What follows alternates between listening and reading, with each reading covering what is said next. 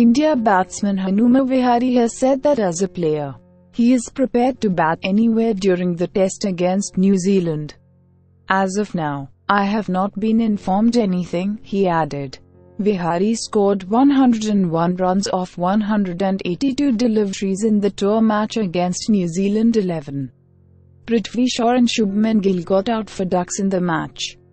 Subscribe to the channel for more news.